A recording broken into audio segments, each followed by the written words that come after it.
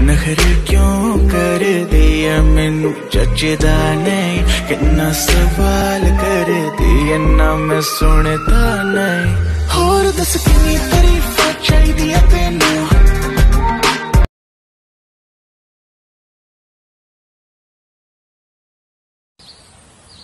ਯਾਰ ਮੇਰੀ ਤਾਂ ਕਿਸੇ ਨੇ ਸੁਣੀ ਹੀ ਨਹੀਂ ਮੈਨੂੰ ਤਾਂ ਮਜਬੂਰੀ 'ਚ ਟੰਗਤਾ ਉਹਨਾਂ ਨੇ ਤੂੰ ਫਿਕਰ ਨਾ ਕਰ ਆਪਾਂ ਗੁਪਤ ਵਿਆਹ ਕਰਾ ਲਾਂਗੇ गुप्त रोग होंगे गुप्त व्यान होंगे